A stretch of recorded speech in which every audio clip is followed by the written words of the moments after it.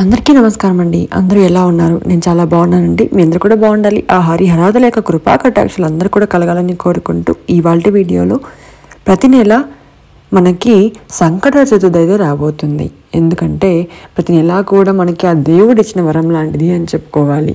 మనము ఈ సంకట చతుర్థి చేసుకున్నట్లయితే మూడు సార్లు కానీ పదకొండు సార్లు కానీ ఇరవై ఒక్క సార్లు కానీ చేసుకున్నట్లయితే లేదా సంవత్సరం అంతా కూడా చేసుకున్నట్లయితే కూడా మనకి అన్ని సంకటాలు అనేవి అంటే కష్టాలన్నీ తొలగిపోయి మన జీవితం అనేది సుఖమయంగా ఎటువంటి లోపాలు లోట్లు లేకుండా అయితే ఉంటుంది. అయితే ఈ సంకట చతుర్థి ప్రతి నెలా కూడా వస్తుందండి? కృష్ణపక్షంలో పౌర్ణమి వెళ్ళిన మూడవ రోజు కానీ నాలుగవ రోజు కానీ అయితే వస్తుంది. అయితే ఈ ఏప్రిల్ రెండు వేల ఇరవై నాలుగులో ఎప్పుడు వచ్చింది అన్న విషయానికి వస్తే ముందుగా మీరు సంకల్పం అయితే చేసుకోవాలి కదండి. దానికోసం స్వస్తి శ్రీ చంద్రమానైన శోభకృత్ నామ సంవత్సరంలో మనకి వస్తుందండి. అలాగే ఇది చైత్రమాసము మనకు. చైత్రమాసంలో అలాగే నక్షత్రం వచ్చేసి జ్యేష్ఠ నక్షత్రం అని చెప్పుకోవాలి. చవితి తిథి విషయానికి వస్తే చవితి తిథి శనివారము ఉదయం ఆరు గంటల నలభై రెండు నిమిషాల నుంచి ఆదివారము ఆరు గంటల ఇరవై ఆరు నిమిషాల వరకు చవితి తిథి అనేది ఉంటుంది.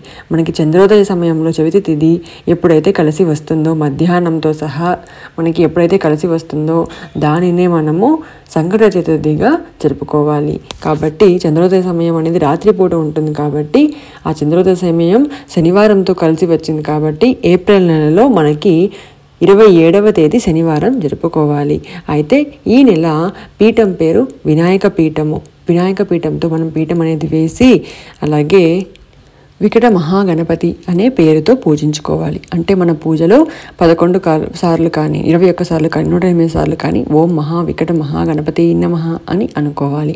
అలాగే చంద్రోదయ సమయాలు చాలా ఇంపార్టెంట్ కదండి. మనము ఈ చంద్రోదయ సమయంలో చంద్రుడిని పూజించి అలాగే చంద్రుడికి అర్ఘ్యం సమర్పించి ఆ తర్వాత ఉపవాసం అనేది వీడాలి. ఆంధ్రప్రదేశ్లో తొమ్మిది గంటల ముప్పై నిమిషాల వరకు అయితే నుంచి ప్రారంభమవుతుంది. కర్ణాటకలో తొమ్మిది గంటల నలభై ఐదు నిమిషాలకి ప్రారంభమవుతుంది. తెలంగాణలో తొమ్మిది గంటల ఇరవై ఐదు నిమిషాలకి ప్రారంభమవుతుంది. అన్ని రాష్ట్రాలలో కూడా ఒక ఐదు నిమిషాలు ఇటు ఇటు స్టార్ట్ అవుతుందండి. కాబట్టి తొమ్మిది గంటల ఇరవై నిమిషాల నుంచి మీరు ఉపవాసం అనేది వీడవచ్చు ఆరోగ్యం అనేది సమర్పించి. ఆ తర్వాత ప్రతి నెలా కూడా తప్పక తినవలసిన పదార్థం అయితే ఒకటి ఉంటుందండి. ఈసారి పంచగవ్యాలతో చేసినది ఏదైనా తినాలి. అలాగే ఈ నెల మీరు చేసుకోవచ్చా? అంటే ఇరవై ఎనిమిది నుంచి మనకి మూడాలు ప్రారంభమవుతాయి. కానీ ఇరవై ఏడు ఏం ప్రాబ్లం లేదండి.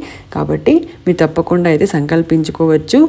ముడుపు అనేది కట్టి చక్కగా అర్ఘ్యం సమర్పించి స్వామికి చక్కగా నైవేద్యాలు సమర్పించి కుడుములు ఉండ్రాలు సమర్పించి గరికని సమర్పించి పూజించుకున్నట్లయితే సకల శుభాలు చేకూరుతాయి. అందరూ కూడా బాగుండాలి. అందులో మనం కూడా ఉండాలని కోరుకుంటూ అందరూ కూడా లైక్ చేసి వీడియోని అందరికీ కూడా షేర్ చేసి అలాగే సబ్స్క్రైబ్ చేయడం మాత్రం మర్చిపోకండి. సర్వేజన్ जनाः शक्नुवन्तु